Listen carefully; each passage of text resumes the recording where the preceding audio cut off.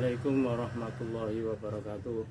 Para kadang tani, sedulur, sedulur, pecinta tanaman di seluruh Indonesia Kita akan saksikan bagaimana hasil pemupukan dengan pupuk organik sekualitas NPK Dan disiramkan setiap minggu bagi tanaman-tanaman yang kita punya.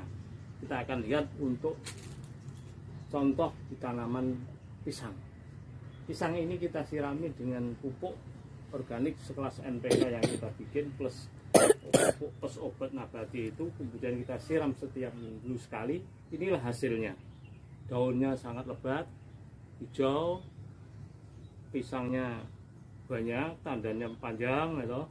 Sehingga hasilnya bisa maksimal.